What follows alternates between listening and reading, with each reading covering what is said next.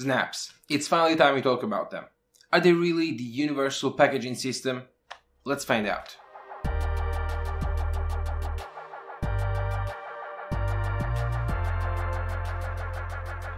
So it's been a while since Canonical started working on and pushing on their new packaging system called Snap. And the thing about Snap is that it brings some very interesting features to the plate of packaging systems.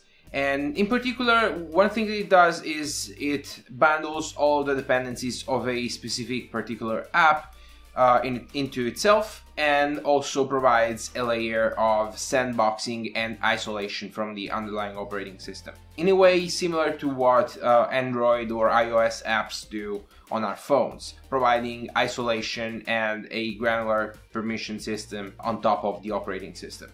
Now, Snap by itself is a very interesting technology, but what I don't like about it is that they insist on pushing it as a universal packaging system.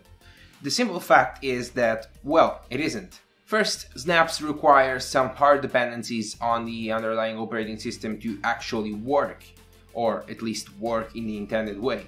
One of them is AppArmor. Now, if you don't know, AppArmor is a mandatory access control system, which means uh, it's a kernel module, uh, so it's built on top of the Linux kernel, and it provides uh, some uh, more granular and finer controls on permissions uh, about what processes can and cannot do. The thing about AppArmor is that it's a kernel module, so it means that you need to have it installed in the kernel of the particular distribution that you're using and not all kernels ship with AppArmor support uh, by default. Actually, in uh, the most recent versions of the Linux kernel, AppArmor is included into the upstream kernel, so um, it's already practically the code is already there. But it still depends on who packages uh, the kernel for uh, a particular distribution if they want to enable uh, the support for AppArmor or not. Now, AppArmor itself is not really 100% mandatory. You can still run Snap without AppArmor, but all apps will run in uh, the so-called devel mode, which means uh, that all apps uh, have all permissions around the system as if they were not sandboxed at all. So it kind of defeats the point of half of what Snap is. The other dependency that Snap has is systemd. Just to clarify, I don't have anything against systemd. I actually like it very much and I think it's one of the greatest improvements in modern Linux since, well, long time. But uh, it still remains the fact that some distributions don't have systemd, either because of, well, political reasons or because the, the maintainers and creators of that particular distribution just plain don't like it, which is a respectable opinion, or because of uh, other concerns like optimization and being as small as possible. The fact that snaps require systemd actually makes them even less universal because it automatically excludes compatibility with distributions like Devuan, uh, Void Linux, Alpine Linux, and possibly others that I'm not aware of. But if these were just the only problems, it wouldn't really be so much of a big deal. But the real problem here is that snaps don't actually work as well as they do in Ubuntu in other distributions. So I actually did some testing on my own and I compared the experience using snaps on a fresh Ubuntu 19.10 virtual machine against a virtual machine running EndeavourOS. That's actually the one I used in my EndeavourOS review a while ago. So we have plain mainstream Ubuntu uh, on one side and Arch Linux in the form of EndeavourOS on the other side. I wanted to test out some different kind of applications just to see how the whole experience works. And I started with something actually as simple as possible, uh, GNOME Calculator. And fun fact, the GNOME Calculator Snap is uh, actually pre-installed in Ubuntu 19.10. So your standard calculator in Ubuntu 19.10 is a snap. And while on Ubuntu it works actually perfectly, and well, it's kind of expected considering it's the only calculator they're shipping in their operating system, in EndeavourOS it doesn't actually work properly, it's not usable. When I installed it, what happened is that the font was missing for some reason. Every character was just replaced by a white box. And that's just hilarious. Uh, of course, the application is not usable. Uh, it's an interesting bug, but I couldn't find the root cause of it. I, I, tried changing the default font in the configuration panel of XFCE provided in EndeavourOS, but that didn't change nothing at all. So I don't know what's the deal with that. It just doesn't work. So then I thought, well, maybe it's a GTK quirk, maybe it's something specific to do with uh, GNOME calculator, let's install KCalc, which is, well, uh, a calculator from the KDE project. I just went ahead and installed that on both the EndeavourOS VM and Ubuntu VM, and again, on Ubuntu it works right, except for the theme, which is not really right considering it's a Qt app. They could have styled it, but I don't know, that's a minor thing. At least the app works on Ubuntu. On EndeavourOS, the moment you launch it, you get a segmentation fault. So well, KCalc isn't working.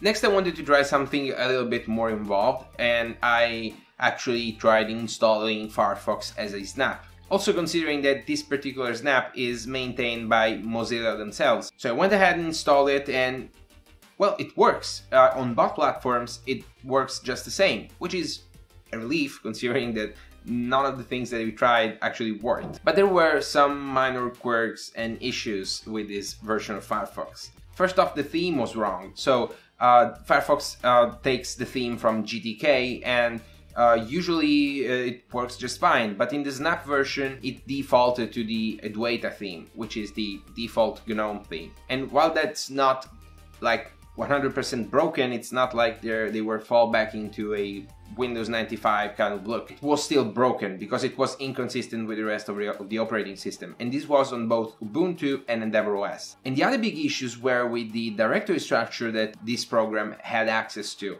You see, uh, of course, we talked about permissions, so of course Snap has a system to manage uh, permissions to access, so read and write the uh, internal storage, the actual storage of your uh, host operating system, and in particular your home directory. And of course, since Firefox is a browser, it has access to your home directory, but it doesn't default to it.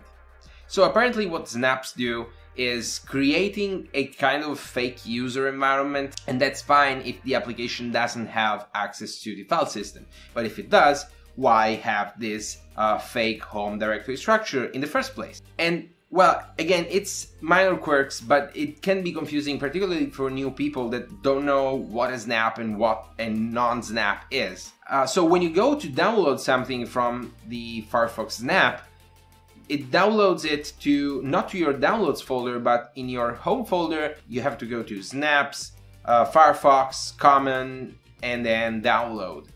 And that's just plain dumb. And if I didn't know that these things could happen, I wouldn't I would have just thought that well, Firefox wasn't downloading, that something was wrong with my system. Again, this same problem occurs on both EndeavourOS and Ubuntu. So again, it's a problem with the underlying snap structure. The next app I tried was OBS and this was more like a stress test considering OBS is a very complex app and it requires uh, very broad access to your underlying system. So on EndeavourOS, I installed it and again, segmentation fault. And that led me to believe that that's probably something wrong with Qt and snaps on distributions other than Ubuntu. Because again, this only happens in EndeavourOS and probably other distributions that are not Ubuntu based at this point. But on Ubuntu, well, it worked fine. Uh, it's just plain OBS. Everything worked. Window capturing, screen capturing, even the microphone was picking up through the VM, which is weird. But anyway, uh, everything again worked. No problem. The last app I wanted to try is GitKraken, which is a an Electron app. And well, I'm not particularly aligned with GitKraken itself. It's just an Electron app that I happen to know. And I just wanted to see how Electron apps could behave and well, they work just fine on both Ubuntu and EndeavourOS, so uh, nothing much there. But again, Electron is, well, the whole application, including the actual user interface, is all made with web technologies and it's bundled with the browser, so it would have been weird if that wasn't working. So I think it's time to actually try and draw a bottom line here. Snaps are a an interesting packaging system, but What Canonical keeps on saying that they're universal is just a plain lie, because snaps are not universal, because they uh, either don't work on other platforms or have specific issues that they don't have on Ubuntu. So they're not targeting a universal uh, common Linux distribution, they're targeting Ubuntu, and that's it. It's also pretty confusing to use snaps, particularly for new users. You just have to, to imagine a new user coming to Ubuntu, opening the store and installing apps, maybe even a browser like Chromium or Firefox, they, they just go ahead and install the Snap version unknowingly, and they just open it up and download something, and well, they cannot find their, their downloaded stuff, and they just assume that there's something wrong with the operating system, because of course, on their other operating system they come from, this doesn't happen. And this goes further to feed the narrative that Linux is just a difficult operating system for experts, which is one thing that uh, the community is probably trying to move away from because really it's not. Once you start to learn how Linux works, and you don't really have to learn much, it's a lot easier than any other operating system, including Windows or, or Mac OS. But these, these kind of things make things a lot more difficult and a lot more complicated to understand. And let's not forget about little things. The startup time for snaps, particularly the first one, the first time you launch a, new snap you install, is just so long. It doesn't make sense. I don't know what's happening in the background, why this problem even exists. Because other similar packaging systems like Flatpak don't have this problem. The, the startup time is just as any other application startup time. I don't know what's wrong there, honestly, but it just doesn't make sense. Again, this drives away new and experienced users alike because if it takes I don't know one minute to open GitKraken, and this is a real example, it actually took about one minute to open GitKraken, and I, I just thought it wasn't launching. I just thought that the VM crashed or something. That that's not a good thing. This cannot happen. Also considering that the native versions, or the Flatpak versions for that matter, of the same apps don't take all this time to launch. And of course, apps don't really behave as they normally would. And the example with the file system structure is one of them, but there are other things that are just wrong. The theming is inconsistent, the cursor even sometimes just changes to the default Xorg one. And not to mention that the whole experience is inconsistent across platforms. Because if you tell me that I can install Snaps on Arch, I should be able to install and use Snaps on Arch. And as I actually found out, this is not the case. This just doesn't happen. Now, this is what I think of Snap as a packaging system, but uh, I don't think that Canonical should stop working on it. You may ask why, and the reason is that Snap isn't all that bad. For instance, one area where I see Snaps really succeeding and in a big way is the server space. I don't know if you have ever tried to deploy any server-side software like, I don't know, CodiMD, Nextcloud or something like that. You may found out that deploying such apps is a pain. It's a long and tedious and complicated process and it involves many moving parts that well can break any moment if something happens or goes wrong. It's been a while since I've been using on my home server Nextcloud as a snap. And let me tell you, it's a whole new experience. You're just one command away from a fully configured and fully working Nextcloud setup with, with all of the best defaults and best practices in place. I just cannot express how awesome that is.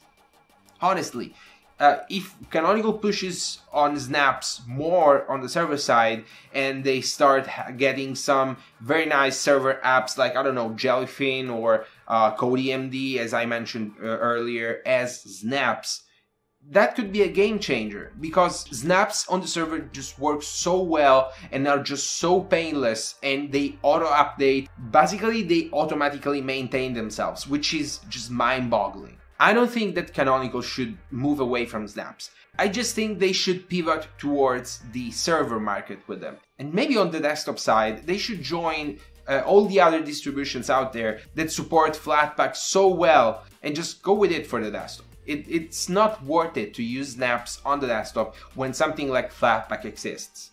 Anyway guys, these were my thoughts on Snap. Do you agree with me? Do you maybe think that I'm wrong for some reason? Do you have any other opinion to share? let me know in the comments. Anyway guys, this is gonna wrap it up for this video. Thank you very much for watching, I really do appreciate it. If you like this video, please make sure to press the thumbs up button down there and also remember to subscribe to my channel if you want more of this. Also remember to join the awesome TechPills community at techpills.technology slash community and join me every Saturday afternoon at 5 p.m. Central European for the TechPills weekly live stream. Again guys, thanks for watching and I'll be seeing you in the next one.